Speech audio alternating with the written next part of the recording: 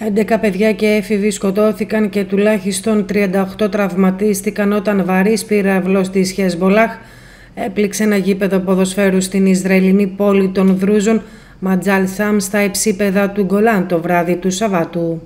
Η τρομοκρατική οργάνωση Χεσμολάχ βρίσκεται πίσω από την εκτόξευση ρουκετών σε γήπεδο ποδοσφαίρου στο Ματζάχ Σάμς που προκάλεσε πολλές απώλειες αμάχων συμπεριλαμβανομένων παιδιών, ανέφεραν οι Ισραηλινές αμυντικές δυνάμεις. 11 νεκροί και 34 τραυματίες είναι ο μέχρι στιγμής απολογισμός μετά την εκτόξευση ρουκετών από τον Λίβανο στα προσαρτημένα υψίπεδα του Γκολάν ανακοίνωσαν οι διασώστες.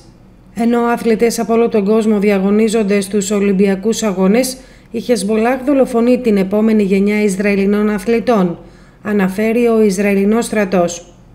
Η αστυνομία, ο στρατός και διασώστες στο Ισραήλ ανακοίνωσαν νωρίτερα ότι η εκτόξευση ρουκετών από τον Λίβανο στα προσαρτημένα ψήπεδα του Γκολάνου στο βόρειο Ισραήλ προκάλεσαν τον τραυματισμό τουλάχιστον 11 ανθρώπων, εκ των οποίων και παιδιά. Σύμφωνα με τις πρώτες πληροφορίες, γιατροί περιέθαλψαν 11 ανθρώπους, 9 από τους οποίους ηλικίας 10 έως 20 ετών ήταν σε κρίσιμη κατάσταση. Η Ισραηλινή αστυνομία και ο στρατός επιβεβαίωσαν ότι οι ρουκέτες έπληξαν αρκετές τοποθεσίες στο βόρειο τμήμα των υψηπέδων του Γκολάν, μεγάλο μέρος των οποίων καταλήφθηκε από το Ισραήλ το 1967 και στη συνέχεια προσαρτήθηκε. Νωρίτερα το πρακτορείο Reuters, επικαλούμενο το Ισραηλινό κανάλι 13, ανέφερε ότι 10 άνθρωποι σκοτώθηκαν από ρουκέτα που έπληξε γήπεδο ποδοσφαίρου στην πόλη Δρούζον Ματζάλ Σάμ στα ύψη του Γκολάν. Ένας γιατρός που βρέθηκε στο σημείο έκανε λόγο για μεγάλη καταστροφή, ενώ πρόσθεσε ότι στο σημείο ξέσπασε φωτιά. Η επίθεση στο γήπεδο ποδοσφαίρου αποτέλεσε απάντηση σε πλήγμα του Ισραήλ στον Λίβανο νωρίτερα το Σάββατο, που προκάλεσε το θάνατο τεσσάρων μελών ένοπλων ομάδων του Λιβάνου. Δύο πηγές του τομέα ασφαλείας δήλωσαν ότι τέσσερις μαχητές που σκοτώθηκαν κατά την Ισραηλινή επίθεση ήταν μέλη διαφορετικών ένοπλων ομάδων, ενώ τουλάχιστον ένας εξ αυτών ανήκε στη Χεσμολάχ.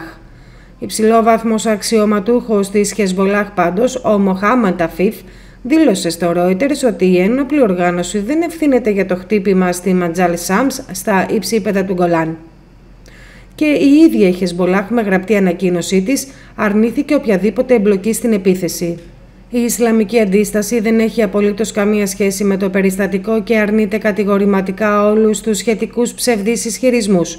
Νωρίτερα πάντως η οργάνωση είχε ανακοινώσει ότι εξαπέλυσε από τον Λίβανο αρκετές επιθέσεις με ρουκέτες με στόχο θέσεις του Ισραηλινού στρατού σε άλλες περιοχές. Ευχαριστούμε που μας παρακολουθήσατε. Για να λαμβάνετε πρώτοι όλες τις νεότερες εξελίξεις κάνετε like και εγγραφή στο κανάλι μας.